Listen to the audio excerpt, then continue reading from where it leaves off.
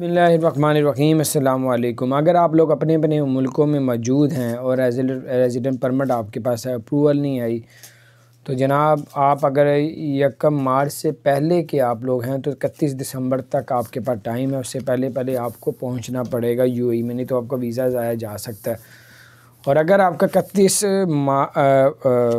यानी कि फ़र्स्ट मार्च से बाद यानी कि फ़र्स्ट मार्च के बाद अगर आपका वीज़ा एक्सपायर होगा, फिर टेंशन वाली बात नहीं, अगले साल भी आपका वीज़ा वैलिड रहेगा। तो इन कुछ होता नहीं, इकतीस दिसंबर को उन्होंने मीटिंग करनी है।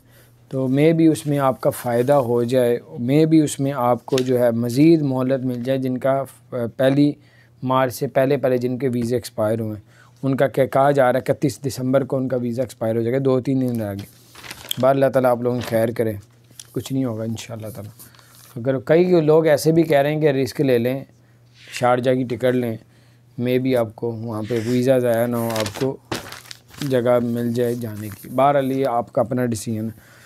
बहुत से लोग आउट भी हो जाते हैं, बहुत से लोग रिपोर्ट भी हो जाते हैं। अपना ख्याल रखें, अल्लाह ताला आप सबको कामयाब करें, हर तरह के नुकसान से बचा के रखें। अगर आपने हमारे चैनल को सब्सक्राइब नहीं किया, ज़रूर सब्सक्राइब करें।